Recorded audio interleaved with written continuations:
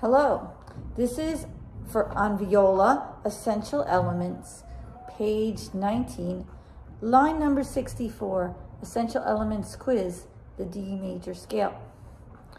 Before you play this, you should be doing all of page 18 except for line 57 and all of page 19 to get ready. This is the D major scale. I'm going to talk you through each note.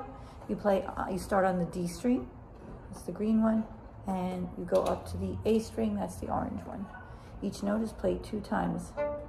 So we start with low D, zero on D. E, one on D.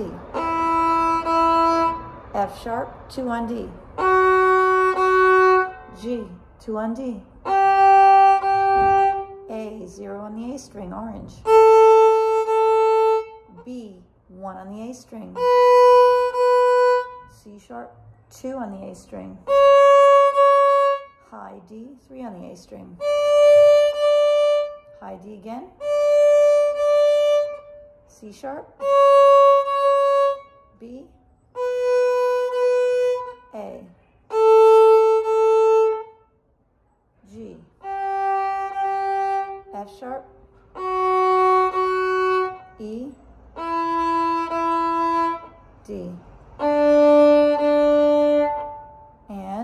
Going to do it one time. You'd play it with me.